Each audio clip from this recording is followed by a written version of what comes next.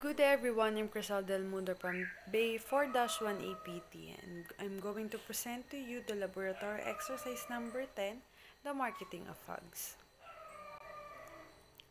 The various marketing channels available are the wholesale and the retail.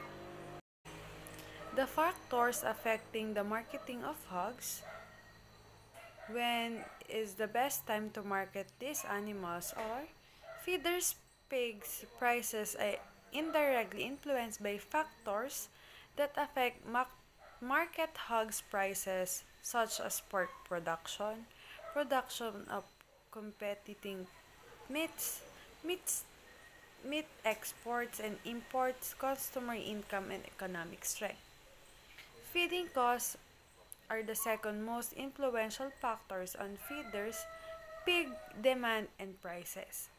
At approximately 6 months of age, when they weigh about 280 pounds, pigs are market ready. Also, when it comes in more profitable, both live weight and dressed weight are profitable.